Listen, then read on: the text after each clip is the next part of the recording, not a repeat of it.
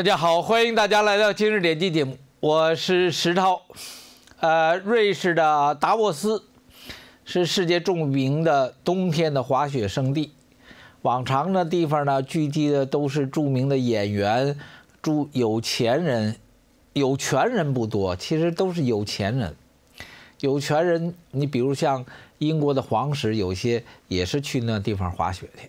那人家是不知道有权还是有有有名望，是这么个地方，也就是说是一个是一个旅游的地方。所以旅游地方它相对来讲政治含义稍微稍微低一些，大家在那地方如果有什么活动的呢，就更显得轻松一些。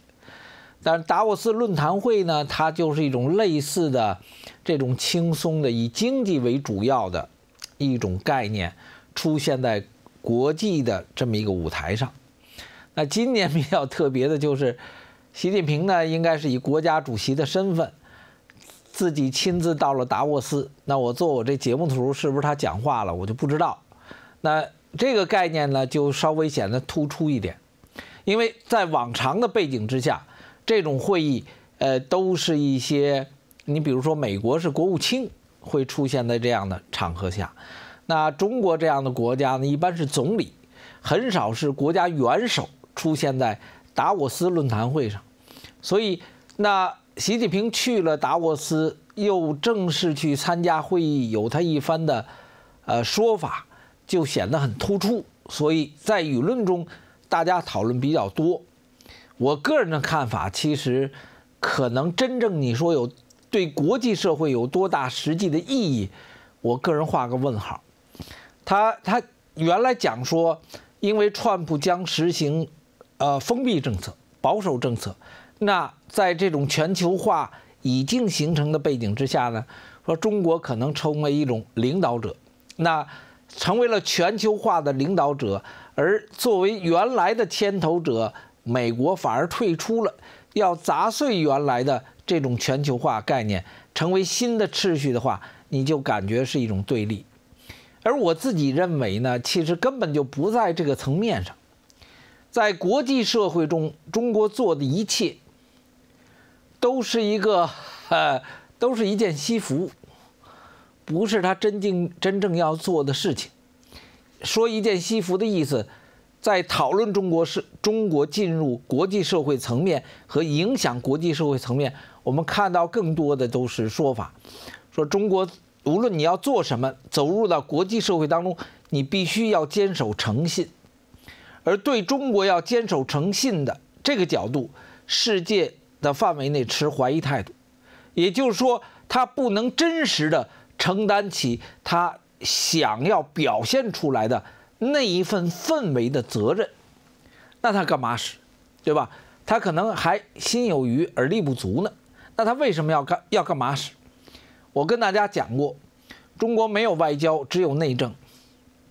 那在国际社会上营造中国的形象，它同样是与国内的这种转向，就是权力向国家体系转移过程中表现的是一体的。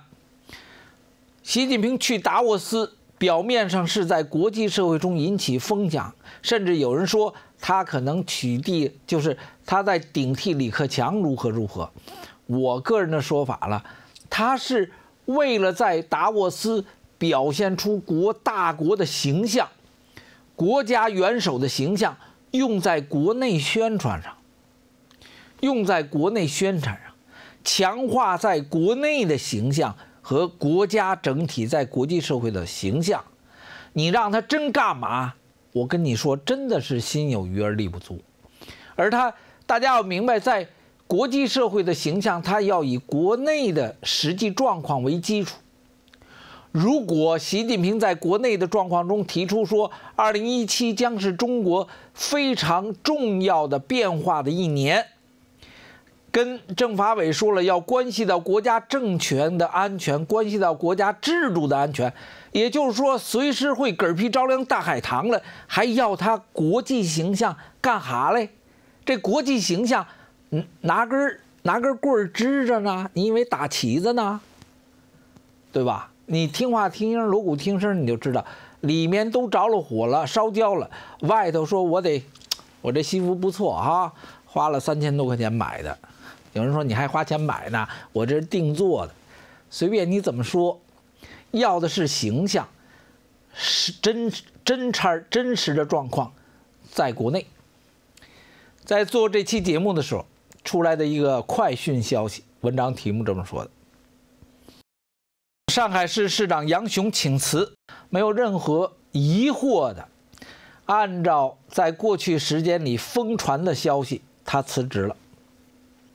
上海十四届人大五次会议举行第二次会议，听取人大常委、呃上海市高级法院、检察院工作报告，并表决通过接受杨雄辞去上海市市长职务的请求。那上海早于去年下半年就安排了新市长的交接。那杨雄请辞，那上海市副书记兼常务副市长英勇应该在星期五，他说应该在星期五当选上海市市长。英勇来自于习近平的呃麾下，英勇到上海去做上海市副副书记，在一个星期之后，即刻他就成为上海市常务副市长。在当时，我们就跟大家说了。上海市常务副市长基本就把杨雄顶掉了，所以在英勇进入上海的时候，杨雄基本上就像那个，就像湖南人吃了腊肉似的，基本就给挂起来了。那为什么在这个时候出现这种事情？其实从去年八月底到九月份，我们看到的是对省部级大员的下手，主要是省长、省委书记一级的。我们不用陈述很多，对吧？那黄兴国呢，就是一个在这些人马当中是比较典型的一个，在这些被动掉的省部级大员中，几乎都是在早前过去两年里，一四一五年，大家公认的是受江泽民、曾庆红掌控的省部级大员，谁都明白为什么冲着上海去，对吧？所以你看，他是在。天津的搞定了，这个包括传统的，包括新疆搞定了，云南搞定了，对不对？我们看到的大概十个左右的省，包括这个江苏都给搞定之后，扭过脸来，最后去动上海。所以杨雄下来就是个标记，什么标记？不是杨雄下来如何，而是说习近平对上海开始真正的动手。按照他安排的事情在做什么。Step into a divine land,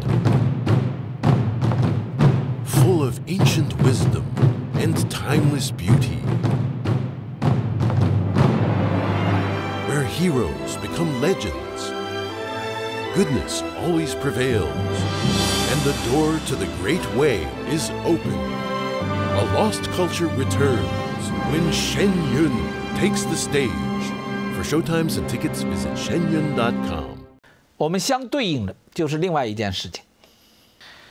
百名律师致信敦促周强院长立刻辞职。 那发起辞职的主笔人是上海的律师，叫做林礼国。那周强的故事。我们不用再跟大家分享了。里面主要提到的说法是：鉴于最高法院院长、首席大法官周强先生在全国高级法院院长工作会议上的表达的向司法独立亮剑之论之不法与不当，由此引发中国整个社会对中国法治是否要倒退的思考与担忧，所以我们起草了这份百名律师致信。敦促周强院长立即引咎辞职，欢迎有意参加了中国的职业律师，包括当前因各种原因不能正常执业的前律师踊跃报名。